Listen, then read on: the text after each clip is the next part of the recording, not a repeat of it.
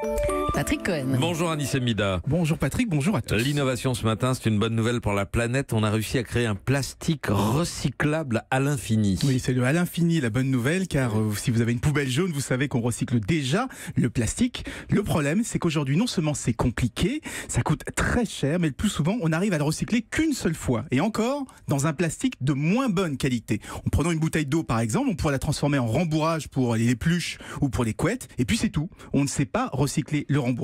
Eh bien, des chimistes de l'université d'État du Colorado aux États-Unis ont inventé un nouveau plastique recyclable plusieurs fois, très facilement et avec exactement la même qualité. Donc, une bouteille d'eau redeviendra la même bouteille d'eau. En fait, il se comporte un peu comme euh, le verre ou l'aluminium qui sont aussi recyclables à l'infini. C'est le premier plastique qu'on pourrait ne plus considérer comme un déchet, mais comme une matière première. Ça reste quand même un procédé chimique à base de pétrole. Euh, oui, c'est vrai, mais ça sera quand même plus propre que les plastiques actuels hein, qui utilisent des solvants, tout se fait là à température mm. ambiante, il n'y a plus rien à purifier, contrairement au plastique traditionnel. Et comme le recyclage est à la fois plus simple et moins cher, eh bien ça en fait un plastique qui garde de la valeur, même en fin de vie, hein, exactement comme les canettes ou les bouteilles en verre. Donc il pourrait inciter des industriels à l'utiliser et nous autres consommateurs à recycler plutôt qu'à le jeter dans la nature. On pourrait même être payé pour ça. Vous pensez à quoi? Retour de la consigne euh, pourquoi pas, hein ça fonctionne très bien en Allemagne mm. et aux États-Unis. On vous donne 15 euh, à 20 centimes pour apporter la bouteille en plastique. Ah oui, 15 à 20 centimes 15 à 20 centimes, oui, oui, à 20 mm. centimes aux États-Unis, 15 centimes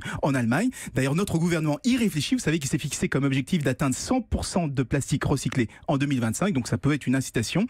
On rappelle quand même une chose, hein, même si c'est facilement recyclable, ça reste du plastique. Ça met des centaines et des centaines d'années à se décomposer dans la nature. Donc la collecte, le tri reste essentiel. Les barquettes, les bouteilles, direction poubelle Jaune. Jaune. Exactement. Merci à vous, Anissa Mida. Europe. Europe 1.